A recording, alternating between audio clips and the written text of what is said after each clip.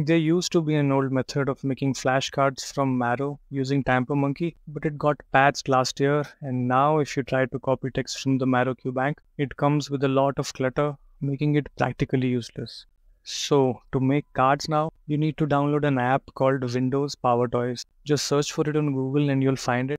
It includes a lot of tools, but the one we need is called Text Extractor. Simply enable it note the shortcut down and when you press the shortcut you can select any text visible on your screen and then paste it straight into Anki using Ctrl V.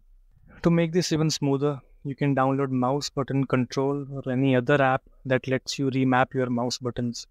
Remap your middle mouse button to the text extractor shortcut and now you can trigger the Windows plus Shift plus T shortcut with just a single click. Here's a demo. I'll open the Anki window on the right and Marrow on left. Pressing the middle mouse button shows this box. Just expand the box to cover all the text you want to copy. Then paste it into Anki. Drag an image if you want. And your card will look like this.